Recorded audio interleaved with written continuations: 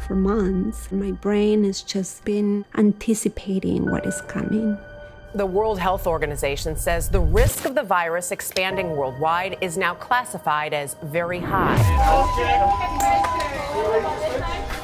We coded your mom for half an hour, but she didn't survive. I'm so sorry.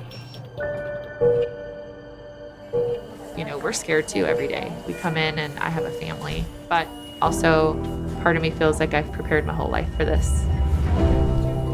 It really shakes your understanding of who you are and what your relationship with God is.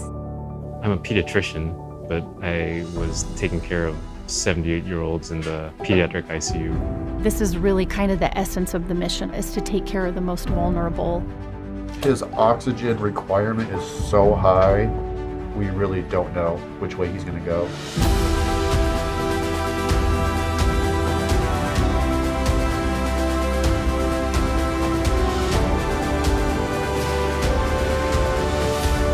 Being an intensivist pushes you all the time to make very difficult decisions. However, COVID has taken it to the next level.